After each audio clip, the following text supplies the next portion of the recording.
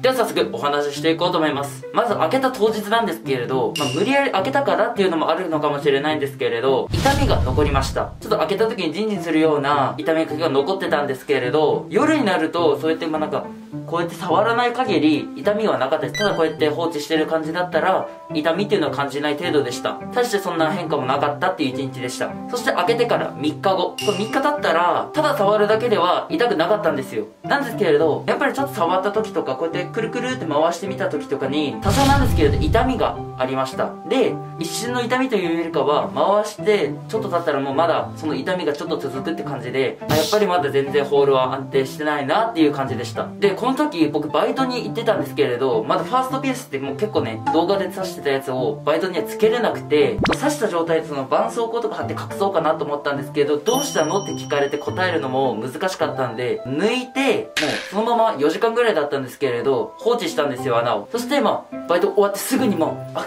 大丈夫かなと思って刺すじゃないですか。なんと、入り口と出口、両方の穴がもう塞がってたんですよ。なんか跡はあるんですけど、薄くなんかねもう、まあ、いわゆるかさぶたっていうやつがもう耳にできてて、全然通らなくても、焦りまくるんですよ。で、ファーストピアスっていうのは、先端が結構鋭利で、普通の針になってるので、めっちゃ痛いんですよ。刺さないから、そう、めっちゃ焦っちゃって、で、結局もう激痛のなんかブチってやって、はい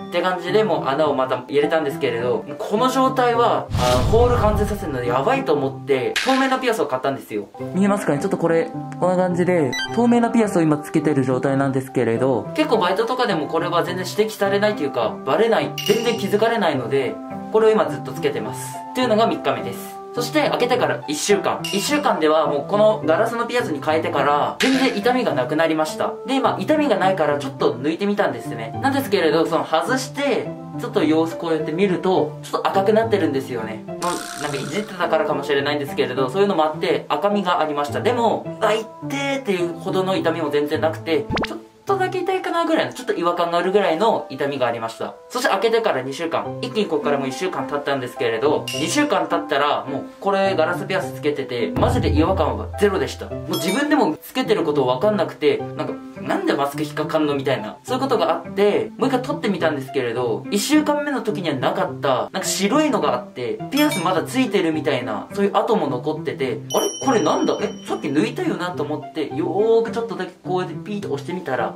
あの、ちょっと汚いんですけれど、あの、海が出てきたんですね。白い海が出てきて、まず気になるじゃないですか。え、だ、大丈夫なの？海が出てきてるけど大丈夫か？って思って調べたんですけれど、リンパ液って呼ばれるようなやつで、傷口を塞ごうとしてる時に出てくる液体、それがそのリンパ液って呼ばれるやつで、可能してるわけではないっていうことを知ったので、まあ放置。だけどちょっと怖いからまあ消毒して、で、まあそのままつけ続けたって感じなんですけれど、あ最初に言ったそのガラスのピアスっていうのは、その他の透明ピアスに比べて、ファーストピアスに使えるんですよ。他の透明ピアスって樹脂製っていうのかな？樹脂製とかだから、そっちを長くつけると、本当にその可能しちゃったり、海ができて、赤みができて、ばい菌が入ったりとかでも危ないので、ガラスだったらそれがないので、もし考えてる方いたらガラスをおすすめします。てか、ガラスにしないといけないです。もうそこはいいとして、次、3週間目です。もう3週間も経ったらさっきっきも言ったようにもう違和感ゼロで、つけてることすらもう忘れちゃうくらいなので、もうそろそろいいんじゃねえかと思って、Amazon で買ったリングのピアスをつけてみたんですよ。こんな感じでリングのやつ買ったんですけれど、まあ、結構すんなり入って、あれいけたじゃんみたいな感じで思ったんですけれど、で、そのリングをつけた時に痛くはなかったんですけれど、取って、まあ、消毒とかその準備、まあ、しまったりみたいなのしてる時に、3週間経ってもやっぱりすぐに薄い膜ができちゃったんですよ。もうこんだけ痛くないスルッと入ったのに、抜いて、本当に2、3分とかですかね。2、3分経っただけで、もうちょっと塞がっちゃって、それでもま、やっぱ痛いんですよ、そこでも。いじらない限り痛くはないんですけれど、外したりつけたりっていうの何回もすると、やっぱりホールの完成っていうのは遅いっていうのはもう知ってたんですけれど、それでもこんなすぐ塞がるのかなと思いました。そして現在1ヶ月経った今なんですけれど肩にこうやってグリグリグリってやんない限り痛くもないし血も出ないし特に赤みも出ないし海も出てきません。まあちょっと4つ目の海出ないっていうのはちょっと嘘なんですけれどなんかシャンプーが入ったとか泡が入ってるとかちゃんと洗い流さなかったとかってなると結構海が出てきちゃったりするのでもう痛くもないし全然さっきのピアスも出かける時にはつけるんですけれどそれでもやっぱり3週間目でその経験したことがあるので触らないっていう風にはしてます。で結論から言うと1ヶ月で僕の場合